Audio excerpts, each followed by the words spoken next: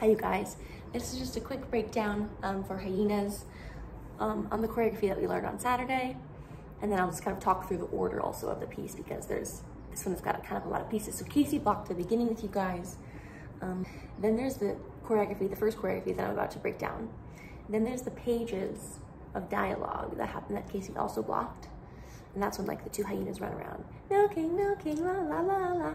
And then the last piece of choreography you know already because of the audition and you guys look great. So that's all done. I'm gonna break down the first section of choreography. So we say, let's prepare for the chance of a lifetime. We step forward with the left foot and we're like, we're low, we're really low, kind of in this like ready position. And we hit our hands three times. We go, let's prepare for the chance of a lifetime. And we look at each other.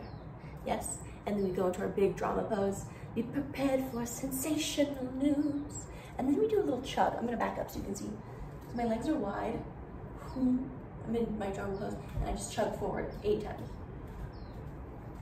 And then the hands simultaneously, they come like, like a little sneaky, ooh, we're cooking up a plan. Yeah, so wherever you are in the drama pose, remember it goes in all different directions. And then we chug. One, two, three, four, five, six, seven, eight. From here we sing Ha's. There's three counts of eight of Ha's. The first two counts of eight we march. March back into our, our lines, our formation, and we step. It's like a step touch. We go left, right, left, right, left.